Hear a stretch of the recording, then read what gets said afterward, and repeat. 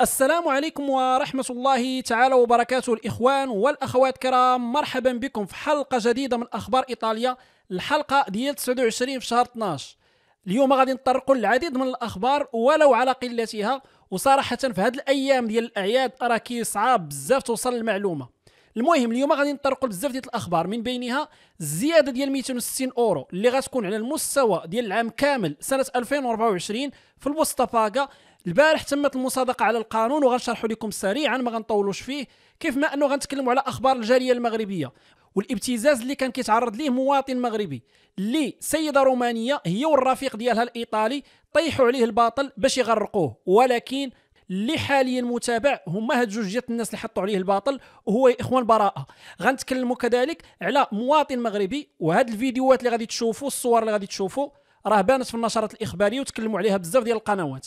في مدينة ميلانو من بعد واحد المدة ديال التتبع ديال مواطن مغربي رجال الشرطة غيديروا المداهمة للدار ديالو وغيلقاو عنده إخوان واحد المكازه عامرة بالأسلحة عامرة بالمخدرات وداك الشيء صراحة كثير وكثير بزاف.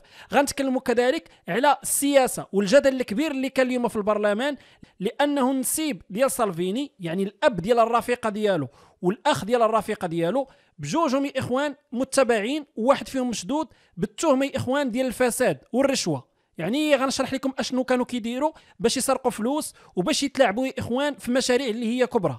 غنتكلموا كذلك على الأزمة اللي كاينة حاليا في ال pronto soccorso ديال الطاليان في العديد من المناطق الإيطالية بسبب إخوان الحالات الكثيره ديال الانفلونزا وكذلك ديال الكوفيد. كيف ما أنه غادي نتكلموا على روسيا تقود البارح في الليل هذا الشيء وقع أكبر هجوم على أوكرانيا منذ بداية الحرب. يعني من يبداو في شهر جوج ديال العام اللي فات. وبطبيعة الحال غادي نتكلموا إخوان على التفاصيل والجديد ديال الأخبار ديال القطاع ديال غزة. ولو أنها اليوم قليلة. كيف ما العادة كنبغي نشكركم. جزيل الشكر على الدعم ديالكم للقناة. شكرا شكرا بزاف الناس اللي تيخليو لايك. والناس اللي ما مشاركينش اشتركوا باش تبقاو توصلوا بالجديد. إن شاء الله. في هذه الفقرة يا إخوان غادي نطرقوا الأخبار ديال الجالية المغربية والفيديو اللي غادي تشوفوا معايا حاليا تم البث ديالو في العديد من القنوات الإيطالية. هادو إخوان رجال الشرطة ديال مدينة ميلانو. اللي اليوم أو اليوم الأربعاء الماضي نهار 27 في شهر 12 مشاو لهذا المنزل اللي كتشوفوا معايا في الصورة. منزل اللي هوايه الملك ديال مواطن مغربي شاب عنده 34 سنة. الوقيته اللي غيدخلوا إخوان لهذا المنزل غيلقاو عائلة إيطالية ساكنة فيه يعني زوج وزوجة حتى ما عندهم سوابق وغيلقاو إخوان شوفوا معايا الصورة. غيلقاو واحد الكمية كبيرة ديال المخدرات فيها الهيروين فيها الحشيش فيها الكوكايين فيها الماريوانا وكذلك إخوان ميزانات باش كيعبروا وأدوات باش كيغلفوا. بطبيعة الحال لقاو من غير هذا الشيء كذلك أموال اللي هي كاش وكذلك أسلحة اللي فيها فرادة يعني مسدسات ومكحلات. منها وحدة اللي هي كالاشنيكوف. يعني راها مشهورة بزاف هذه اللي غتشوفوا معايا في الصورة. واللي عندك كذلك إخوان واحد العدسه ديال الليل. يعني مولاها يقدر يشوف فيها حتى في الليل ولقاو بزاف ديال الفرادة. المهم هاد الناس إخوان كيف ما قلت لكم مواطن مغربي عنده 32 سنة هو اللي في ملكه الدار وفي ملكه هذا الشيء ديال المخدرات والناس اللي كانوا ساكنين عنده في الدار إيطاليا عنده 36 وإيطاليا عندها 34 سنة. بطبيعة الحال الاخوان بثلاثة تشدوا وحاليا راه غتتم المحاكمة ديالهم بسبب إخوان المتاجرة في المخدرات. أما فيما يتعلق بالتفاصيل ديال أشنو لقاو عندهم 138 كيلوغرام ديال الحشيش.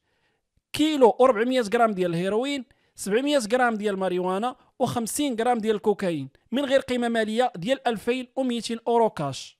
وبطبيعه الحال البوليس وصلوا لهذا السيد من بعد واحد المراقبة.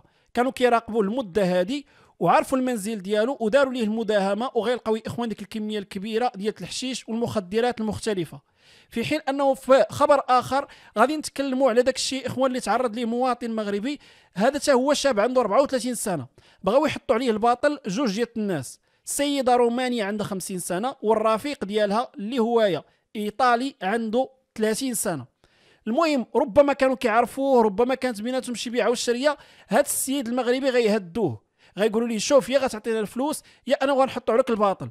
وفعلا داك الشيء اللي داروا الوقيته اللي هو يرفض أنهم يعطيهم الفلوس. مشات ديكلارات السيده اللي عندها 50 عام وقالت لهم هذا السيد راه جا شدني من عنقي وقاسني في شي أماكن واعتدى عليا جنسيا ودى لي التليفون ديالي. ولذلك التهمة اللي وجهت ليه هي السرقة باستعمال العنف وكذلك اعتداء جنسي. بطبيعة الحال من بعد يا إخوان ما أنه السيدة مشات الكوميسارية. واش كاتبيه البوليس بداو كيديروا في البحث ديالهم جابوا المواطن المغربي اللي عنده 30 سنة وهو دلب الشهادة ديالو اللي كانت مختلفة. قال لهم أنا هاد الناس وهاد السيدة بالتحديد راني ما شديتها ما اعتديت عليها ما حتى شي حاجة. هي والرفيق ديالها قالوا لي يا غادي تخلص واحد القيمة مالية يا أننا غنحطوا عليك الباطل. وفعلا تصابت بلا أنه النسخة ديالو صحيحة. البوليس باش صدقوا راه غيكون قدم لهم أدلة اللي هي مقنعة. وبطبيعه الحال كيف ما تنقولوا انقلب السحر على الساحر. يعني الناس إخوان اللي كانوا في الأول هما اللي باغيين يتابعوا الشاب المغربي ولاو هما اللي متابعين بالتهمة ديال كالونيا يعني الافتراء.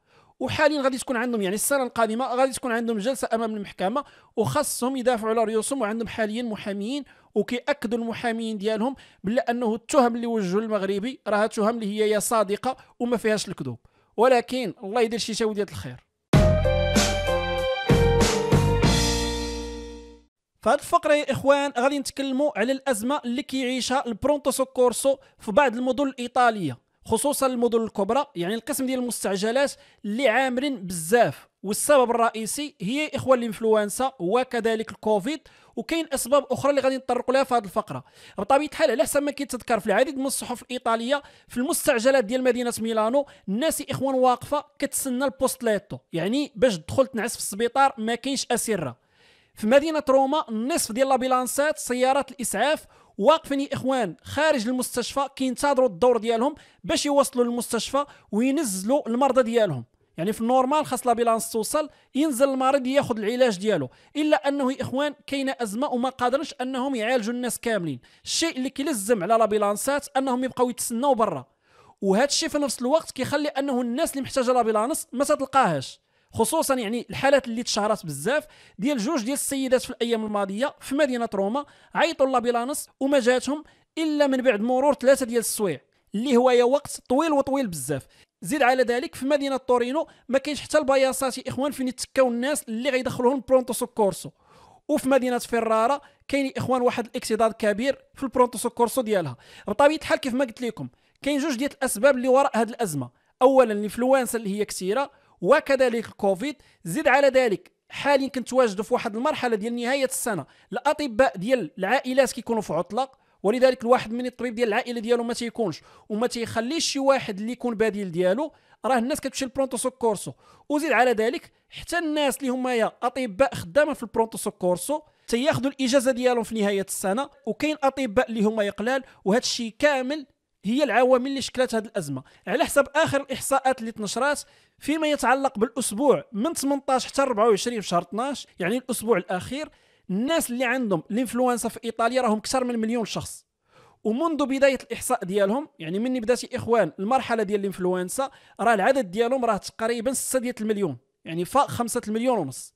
بطبيعة الحال كنتكلموا كذلك يا إخوان على أنه هذه الأزمة لزمت على بعض الجهات أنها تاخذ قرارات باش تصدى يا إخوان تلقى المشكل.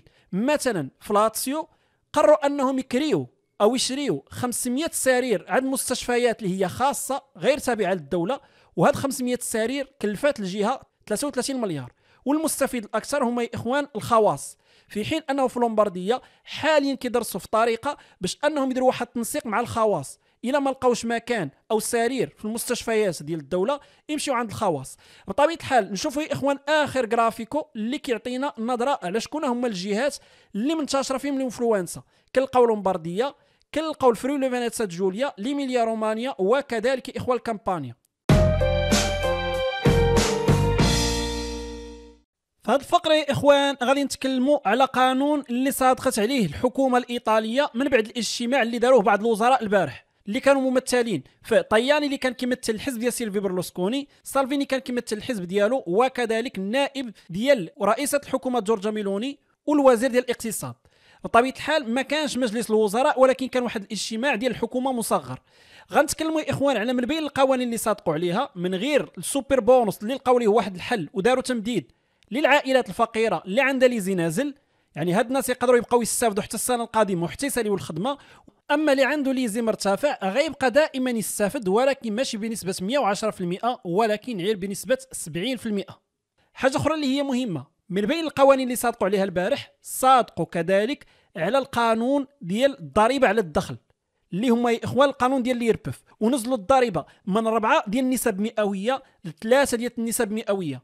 هذا الشيء كيعني أنه الناس اللي كتربح ما بين 15000 و 28000 غتولي تخلص الضريبة في حدود 23% على الفلوس اللي أكثر من 15000 أورو وقل من 28000 أورو. بطبيعة الحال هذا الشيء كيعني واحد الاستفادة اللي غادي توصل ل 260 أورو سنويا. هذه زايدة من غير ذاك الخصم الضريبي اللي كانوا داروا سابقا. نمشيو نشوفوا التفاصيل. التفاصيل هي كالآتي. النسب المئوية ديال الضريبة كانوا أربعة. يعني déjà في سنة 2021 كانوا خمسة. وقبل كانوا خمسة. ورجعتهم الحكومة ديال دراغي من خمسة لاربعه يعني في عوض 23 27 38 41 43% ولا 23% 25% 35% أو 43% دابا الحكومة قالت لهم لا من غير هاد الربعة غنحيدوا ال 25 ومن 15 لغاية 28 غادي تولي الضريبة غير 23% يعني غدير sconto الناس اللي كيربحوا ما بين 15 و 28 ديال 2% هذا الشيء كيف ما قلت لكم كيتصرف لواحد ال sconto ديال 20 أورو اللي غيتزاد في البوسطاباكات شهريا في غالبية الأحيان ويقدر يوصل ل 260 أورو سنويا للناس اللي كتربح إلى غاية 28000 الناس اللي كيربحوا قل من 15000 هادو تما غتكون عندهم واحد الاستفادة اللي غادي توصل ل 75 أورو سنويا. في حين أنه الناس اللي كيربحوا أكثر من 50000 هادو غيكون عندهم كذلك واحد ال sconto ديال 260 أورو ولكن ما غيكونش في ال busta paga يعني ماشي غيكون ديال الضريبة وغادي يكون عنده علاقة إخوان بال sette trenta. الناس اللي غدير ال sette trenta وغتبغي تسكاريكي. ال spesa ديال ال mutuo أو ال spesa ديال الصحة وعدة مسائل اللي كتسكاريكا في ال sette trenta غيولي يدير لهم واحد الخصم ويرجعوا لهم 260 أورو. داروا السات ترينتا غيستافدوا ما داروهاش ما غيستافدوش. في حين آخر نقطة عندها علاقة يا إخوان بالتمديد ديال هذا القانون. هذا القانون الفلوس اللي تخصصت ليه يعني واخا غير واحد جوج في المئة ديال الضريبة اللي غادي تنقص راه كنتكلموا على 4 المليار و300 مليون ديال الأورو. قيمة مالية كبيرة بزاف وهذا القانون غيكون إلى غاية النهاية ديال سنة 2024 ومن أجل التمديد ديالو للسنة القادمة يعني سنة 2025 خصهم 15 مليار ديال الأورو. ولذلك بحال غادي تقول 15000 مليار مغربية. قيمة مالية كبيرة بزاف. وهذا هو السؤال اللي كيطرحوه الاغلبيه ديال الصحف الإيطالية. واش غيتم التمديد ديالو من بعد ولا لا؟ في هذه الفقرة يا إخوان غنتكلموا على واحد الموضوع اللي خلق بزاف ديال الجدل السياسي خصوصا مشاكل اللي عندها علاقة بالسالفيني واليوم في البرلمان راه ناضت واحد الروينة ما بين الاحزاب ديال المعارضة اللي كيطالبوا من سالفيني أنه يجي للبرلمان ويشرح لهم المشكل اللي عنده في العائلة ديالو. وغنشرح لكم بالتفصيل. وباش تعرفوا كذلك أنه إيطاليا فيها بزاف ديال الفساد وشوفوا هاد الناس على حساب إخوان النيابة العامة. شوفوا كيفاش كانوا كيسرقوا الفلوس. كنتكلموا على من؟ كنتكلموا على النسيب ديال سالفيني أو يعني تقريبا مثابه النسيب ديالو والابن ديالو. سالفيني عنده رفيقة اللي صغر منه ب 20 عام. هو فايت مزوج جوج المرات ومؤخرا عنده واحد الرفيقة اللي هي بنت سياسي معروف بنت دينيس فيرديني اللي هو الوسط في الصورة. كان في الحزب ديال سيلفي برلوسكوني ما بقاش حاليا في السياسة.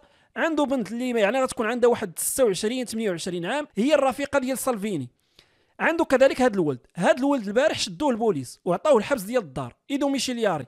علاش؟ لأنه عنده شركة ديال الاستشارات شركة ديال كونسولانسي هو واحد السيد اخر شريك معاه وبجوجهم متابعين.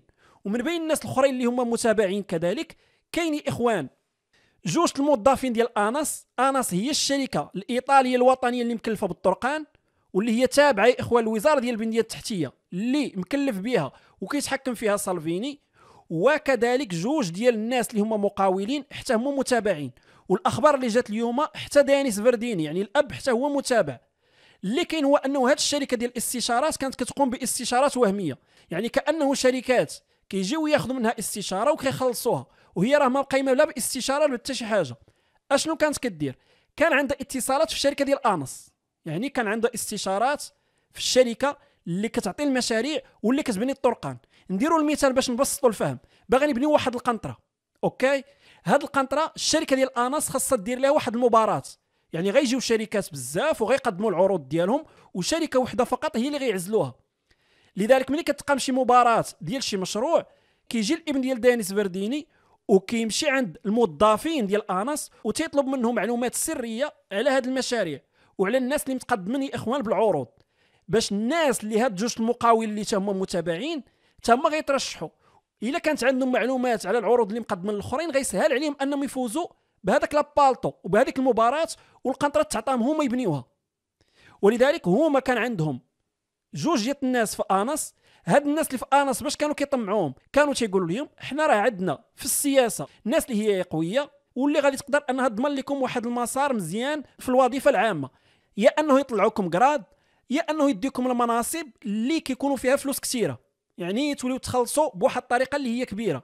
ولذلك كل شيء عنده مصالح والشركات بحد ذاتها هي كتخلص اخوان ال consulenza اللي هي وهمية. ما كايناش يعني واحد الاستشارة. كاين غير واحد ال plaisir غيديروه وفساد اللي غيخلصوا عليه. ولذلك على حسب ما كيروج اليوم هو أنه دينيس فيرديني هو اللي كان كيضمن الابن ديالو العلاقات السياسية باش يطمعوا هذوك الموظفين ديال آنس. وبطبيعة الحال اليسار الإيطالي حاليا ضاغط يا إخوان على سالفيني باش يجي للبرلمان ويشرح العلاقة ديالو بالأب يعني ديال الرفيقة ديالو والأخ ديال الرفيقة ديالو وهذا الشيء كامل اللي واقع خصوصا أنه حتى الآنس راه تابع إخوان الوزارة ديال البنية التحتية. وزيادة على ذلك كانوا كيقولوا بأنه كذلك الأب كان كيتخلص إخوان في النوار.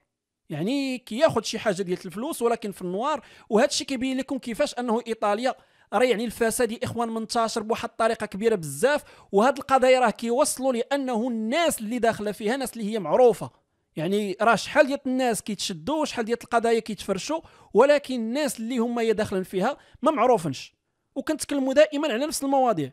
استغلال النفوذ الفساد وكذلك التزوير في المباريات ديال المشاريع اللي هي ضخمه كتكون في إيطاليا. في هذه الفقرة يا إخوان غادي نتكلموا على الجديد ديال الأخبار ديال القطاع ديال غزة. واخا الأخبار صراحة قليلة وقليلة بزاف على القطاع بحكم أنه العدوان مازال مستمر الناس مازال كتوفى إخوان في المجازر اللي كيرتكبها الكيان الصهيوني وكيتم قصف إخوان مساكن مدنية ديال الناس اللي ساكنة فيها. بطبيعه الحال العدد ديال الضحايا راه كيرتفع يوميا أما فيما يتعلق بأهم خبر اللي سلطوا عليه الضوء الصحف الغربية يتعلق باستهداف قافلة ديال المساعدات تابعة لونوروا اللي هي يا إخوان الوكالة ديال الأمم المتحدة. كانت يا إخوان راجعة من الشمال ديال القطاع ديال غزة باش تمشي للجنوب المعبر ديال رفح وغيتم الاستهداف ديالها من الجيش الإسرائيلي. هاد القافلة يا إخوان كانت ديال المساعدات وما خاصهاش تستهدف خصوصا أنه الممر اللي كانت غادا فيه والطريق اللي كانت غادا فيها هي اللي رسمها الجيش الإسرائيلي كممر آمن. وقال لهم دوزوا من هنايا. والوقيته اللي دازوا من تما إخوان تم الاستهداف ديالهم المهم ما مات شي واحد ولكن راه كنتكلموا على انتهاكات اللي هي متواصلة. فيما يتعلق بالعدد ديال الضحايا الوزاره الصحة في قطاع ديال غزة كتكلم على أنه العدد ديال الوفيات وصل 21507 فيما يتعلق بالناس اللي هما يا جرحى 55000 وما أكثر. وكاين كلام على أنه 187 فلسطيني تقتلوا في آخر 24 ساعة يعني حوالي 190 شخص. فيما يتعلق إخوان بأخبار أخرى عندها علاقة بالقطاع ديال غزة هو داك الشيء إخوان اللي نقلاته قناة العربية. حول الهجوم اللي دارته البارح إسرائيل واشتكت منه سوريا يعني كانوا هجموا إخوان على مدينة دمشق السورية وهذا الشيء اشتكى منه إخوان السفير ديال سوريا في الأمم المتحدة. واليوم قناة العربية كتقول بلا أنه في هذاك الهجوم مات 11 قائد عسكري إيراني اللي تابعين للحرس الثوري. إلا أنه إيران في الساعات الأخيرة نفات هذا الخبر وقالت بلا أنه إشاعة وما توفى لنا حتى شي قائد تما في هذاك الهجوم اللي كان البارح. في حين أنه حركة حماس كترجع من اليوم دائما وكتأكد على أنه ما غيكونش نهائيا التبادل ديال الأسرى إلى ما وقفوش الإسرائيليين العدوان على القطاع ديال غزة. ولذلك قالت لهم راه مرة مرة إسرائيل كتخرج لنا باتفاقيات جديدة وبحلول جديدة حول تبادل الأسرى ولكن حنايا ما غاديش نقبلوا حتى يتوقف الحرب في القطاع ديال غزة. في هذه الفقرة يا إخوان غادي نرجعوا نتكلموا على واحد الحرب اللي ما تكلمناش عليها لمدة أشهر وهي الحرب الروسية الأوكرانية. خصوصا أنه البارح في الليل كان يا إخوان أقوى هجوم منذ بداية الحرب ديال روسيا على أوكرانيا. اللي تم الاستعمال فيه تقريبا حوالي 158 ما بين صاروخ وما بين طائرات مسيرة بدون طيار. بطبيعه الحال الاخوان هجوم اللي خلف. عدد ديال الضحايا اللي هما 18 أوكراني اللي توفاو وعدد ديال الجرحى اللي وصل العدد ديالهم 108 بطبيعه الحال هذا الهجوم كيجي من بعد واحد التقدم في الميدان ديال الروسيين في الأشهر الأخيرة. عاقل على بلا أنه كنا تكلمنا سابقا على أنه الأوكرانيين في البداية ديال هذه السنة بدأو كيوجدوا باش في فصل الربيع يديروا واحد الهجوم مضاد ويسترجعوا الأراضي اللي الروسيين داو ليهم. ولكن ما قدروش أنهم يسترجعوا بزاف ديال المدن. يعني مدن قليلة للغاية. وهذيك المدن اللي قدروا يسترجعوا جوج منهم قدرات ترجعوا من روسيا في هذه الأسابيع الأخيرة. علاش؟ لأنه روسيا اولا استغلت الوضع اللي كاين حاليا في الشرق الأوسط والحرب على القطاع ديال غزة والاهتمام ديال الإعلام بها. ما بقاوش كيتكلموا بزاف على الحرب الأوكرانية. وثانيا لأنه الدعم الأمريكي لأوكرانيا مبلوكينو الجمهوريين. المعارضة اللي كاينة في أمريكا اللي ما بغاتش تصوت لبايدن باش أنه يصيفط أسلحة. اليوم أو البارح عاد صيفطوا إخوان 250 مليون ديال الدولار. تقريبا واحد 250 مليار فيها أسلحة متعددة. يعني صواريخ فيها كذلك اخوان القرطاس وفيها بزاف ديال المسائل. هذه غيقدروا يعاونوا بها الأوكرانيين ولكن مستبعد جدا أنها تبقى توصل إعانات من أمريكا. علاش؟ لأنه السياسة في أمريكا ما متفقاش إخوان على هذه الإعانات. بايدن ما عندوش الأرقام باش يصيفط الإعانة بوحدو ولذلك محتاج الجمهوريين والجمهوريين ما متفقنش معاه إخوان على الأسلحة اللي كيصيفط. لذلك الروسيين إخوان كيتقدموا تدريجيا والأوكرانيين كيتراجعوا من بعض المناطق خصوصا في الجنوب وفي الشرق. وكيف ما تيقول الوزير ديال الخارجية الروسي لافروف قال لهم بالله أنه الغرب بدا كيغير الاختيارات ديالو والتكتيك ديالو خصوصا أنه الأهداف اللي كانت عنده في الأول كلها فشلات. قال لهم موسكو بدات كتقوى أكثر فأكثر خصوصا في السنة الأخيرة وبدات كتوصل الأهداف ديالها العسكرية اللي كانت حاطاها. بطبيعه الحال إخوان زيلينسكي على الهجوم اللي وقع اليوم خصوصا كذلك الناس في الجيش الأوكراني. قال لك ما عمرنا ما شفنا واحد الهجوم من هذا النوع. في بعض اللحظات في ال monitor ديالنا يعني في الشاشات ديالنا كنا كنلاحظوا أكثر من صاروخ اللي يطير وكانوا درونات ولذلك كان واحد الهجوم مكثف اللي كان في عدة مدن أوكرانية ماشي شي منطقة محددة فقط. ووصل هذا الهجوم حتى للعاصمه كييف. زيلينسكي قال بلا أنه حنا غادي نردوا على هذا الهجوم الإرهابي. وبطبيعة الحال الاخوان جاوبوا بزاف ديال السياسيين الأوروبيين على هذا الهجوم. من بينها بوريل اللي هو المسؤول على السياسات الخارجية ديال الاتحاد الأوروبي وكذلك سوناك اللي هو الوزير الأول ديال بريطانيا اللي قال غادي نبقاو ندعموا أوكرانيا وما خصناش نخليو بوتين يفوز.